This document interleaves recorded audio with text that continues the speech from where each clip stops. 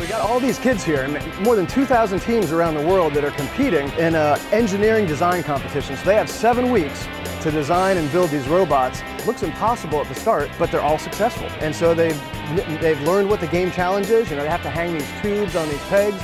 At the end of the game, they have these little robots up the tower score extra points. They get the rules in January and they also get a basic kit of parts. So that kit includes things like some of the motors, a few of the sensors, and the computer, the kind of the brain of these robots. But uh, then the kids, they get to decide what else goes along with that. You know, consistent with the rules, but you see all these different designs out here. So they go out and buy different materials, fabricate them different ways, they use different tools. So the baseline is the same, yeah, the basic things that they use, but then they go way beyond that. They had to design and, and build and program these robots to pick up these tubes. So there's these different colored tubes and they're different shapes and if they put them in the right order they get more points. The higher the tubes are posted up there the higher the point score and then if they get them in the right order triangle circle square then it doubles everything and at the beginning of the match they have these special yellow tubes and at the first uh, 15 seconds of the match, the robots are on their own. It's all the intelligence that's programmed in the robot to take that yellow tube find the right peg and hang it up there all by themselves. And the kids take over and they have two minutes to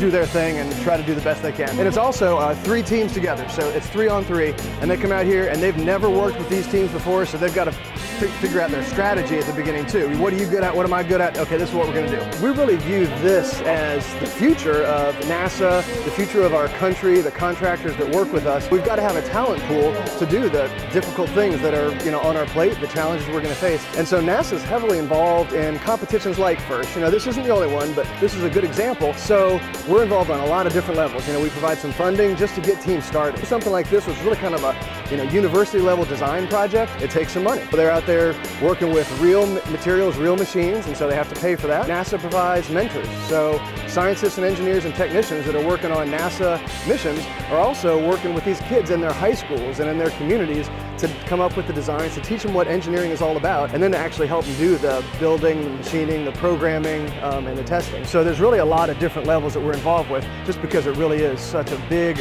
part of what our future needs to be.